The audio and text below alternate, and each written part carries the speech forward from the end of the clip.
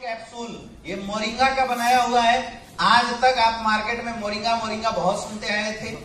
है ना? लोग मोरिंगा का पत्ता पीस पीस के और टेबलेट बना बना के साठ साठ रुपए की एक टेबलेट खूब बेचे, हिंदुस्तानियों को बेवकूफ़ खूब बनाया गया है। लेकिन जो मोरी डॉग है, इसमें पत्ता भी है, इसमें तना भी है और इसमें फल भी है। तीनों पार्ट डाला हुआ है। और तीनों पार्ट डाला हुआ है तो इतना ही समझ लो कि जो मोरिंगा का पत्ता होता है it is the very beneficial product और is rich source of protein protein का रिच सोर्स माना जाता है, जो आपका फल जो होता है, फल में बहुत सारे विटामिन मिनरल्स पाए जाते हैं, जो कि आप किसी को अगर अथराइटिस की समस्या है, उसमें यूज़ करवा सकते हैं। किसी को अगर वीकनेस है, उसमें डायबिटीज़ के केस में भी मोरिंगा बहुत हेल्पफुल होता है, बहुत फ़ायदेमंद होता है।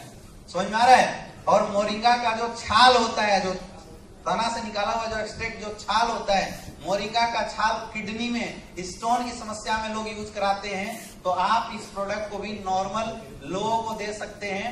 ये प्रोडक्ट आपकी हाइट को इंक्रीज करने में बहुत ज़्यादा हेल्पफुल होता है। आपको बच्चों को मोरिंगा खाने की आदत डलवानी चाहिए पिलाना चाहिए। देखो हम लोग फालतू फालतू आइटम बच्चों को खिलाते हैं। हॉर्लिक्स बॉर्नविटा और क्या क्या होता है? कॉम्प्लान छोटे बच्चों को सेरेलेक्स और क्या पिलाते हैं? Boost is the secret of my energy. ये सब चीज़ें हम लोग इस्तेमाल कर सकते हैं। उसकी जगह पे